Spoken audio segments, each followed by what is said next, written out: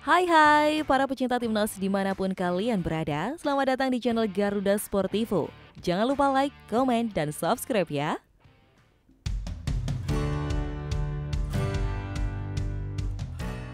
Timnas Indonesia mendapatkan kabar baik meski dibantai Iran 5-0 pada laga uji coba di Al Rayyan Sports Club Doha, Qatar pada Selasa 9 Januari 2024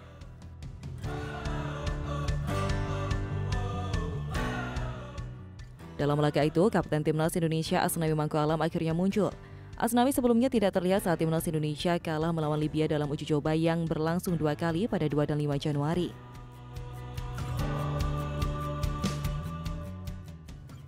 Pada pertandingan melawan Iran, Asnawi turun di babak kedua. Pelatih Timnas Indonesia Sinteyong mengatakan sang pemain baru muncul dalam laga melawan Iran setelah sebelumnya fokus rehabilitasi otot.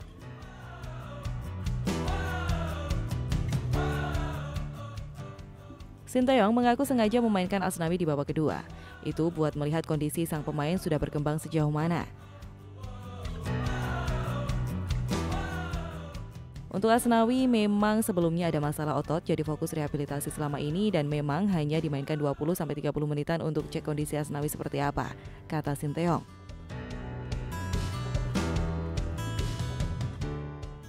Oleh karena itu, ban kapten diberikan kepada Jordi Amat. Sinteyong menyebut Jordi adalah wakil kapten timnas Indonesia.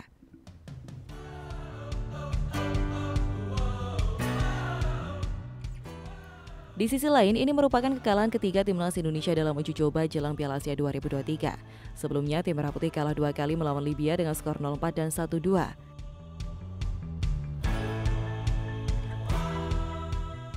Selanjutnya, Timnas Indonesia akan berjuang di Piala Asia 2023 yang berlangsung pada 12 Januari hingga 10 Februari 2024. Tim Merah Putih berada di grup D bersama Irak, Vietnam, dan Jepang.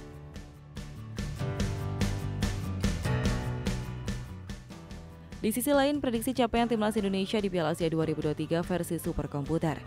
Timnas Indonesia akan tampil di Piala Asia 2023 yang digelar di Qatar.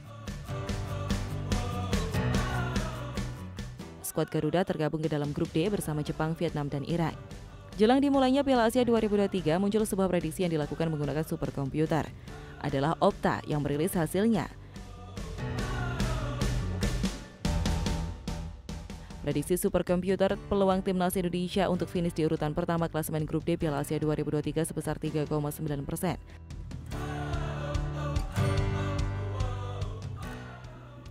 Sedangkan untuk urutan kedua sebesar 17,1 persen. Untuk finish pada urutan ketiga, perkiraan superkomputer untuk Indonesia adalah 31,5 persen. Sedangkan yang paling besar adalah urutan buncit yakni 38,3 persen.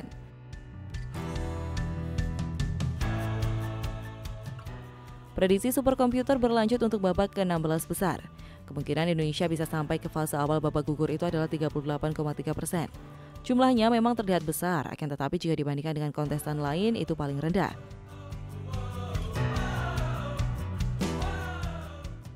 Timnas Jepang yang paling tinggi dengan 97,2 persen, disusul Irak dengan 74,9 persen dan Vietnam dengan 51,4 persen.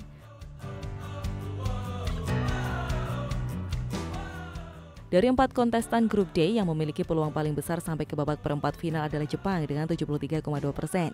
Indonesia berada paling bawah dengan 10,9 persen. Lantas, berapa persentase untuk Indonesia di perempat final? Jawabannya adalah 3,6 persen, menurun menjadi 1 persen untuk sampai final dan 0,2 persen untuk menjadi juara.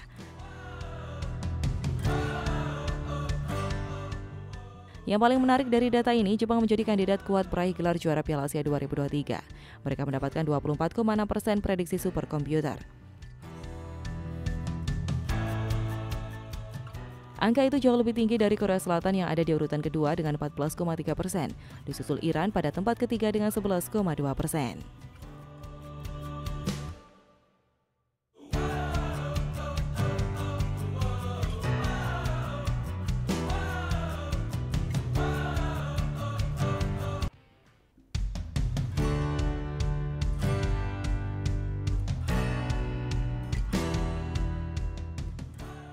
Timnas Indonesia tiga kali tumbang di laga uji coba. Jordi Amat singgung soal level skuad Garuda.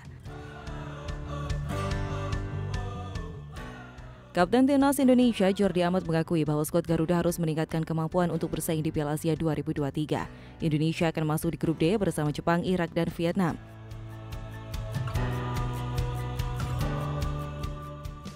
Melihat tiga laga ini, tentu tidak akan mudah bagi Sinteyong untuk membawa timnya melangkah jauh. Namun, mereka sudah menggelar persiapan yang cukup panjang agar bisa bertarung di ajang tersebut. Jordi Amat menjelaskan bahwa butuh level yang tinggi untuk bisa bersaing di level Asia.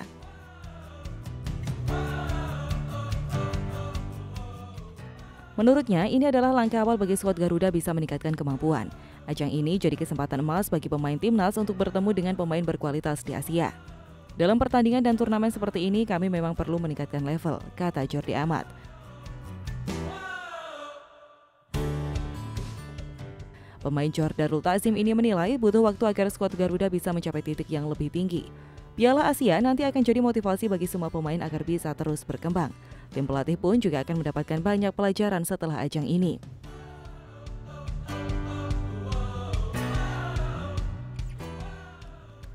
Jordi Amat menyadari bahwa timnas Indonesia melewati tiga laga uji coba dengan hasil kurang maksimal. Tiga kekalahan tentu jadi alarm penting bagi Sinteyong untuk segera melakukan evaluasi. Namun dia menilai sudah mulai terlihat ada peningkatan dari pertandingan sebelumnya.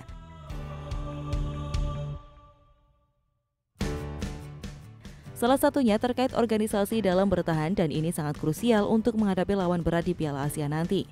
Uji coba yang bagus. Sekarang saya bisa katakan bahwa saat bertahan, kami harus menjadi tim kecil di mana semua orang bakal berlari bersama untuk bisa menjadi tim yang sangat kompak, kata Jordi Amat.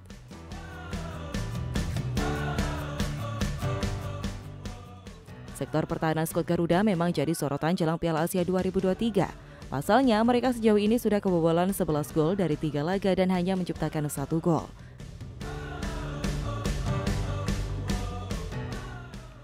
Di sisi lain, media Vietnam menyebut timnas Indonesia sedang krisis.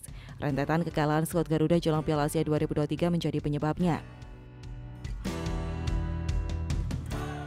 Indonesia punya hasil kurang sip jelang Piala Asia 2023. Anak asuh Sinteyong kalah di tiga laga uji coba.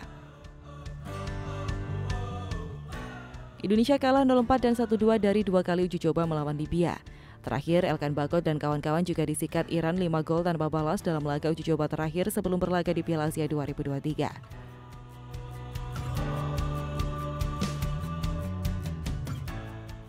Media Vietnam Bongda menyebut Indonesia sedang krisis jelang Piala Asia. Mereka juga menulis persiapan Indonesia buruk.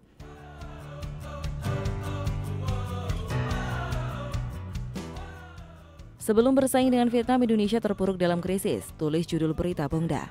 Tim Indonesia mengalami proses persiapan yang buruk menjelang Piala Asia berlangsung di Qatar. Lanjut subjudul berita tersebut.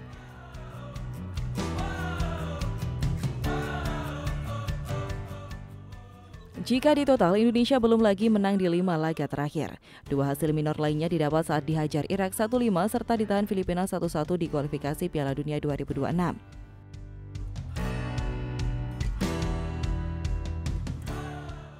Indonesia sendiri tergabung di grup D Piala Asia yang cukup berat.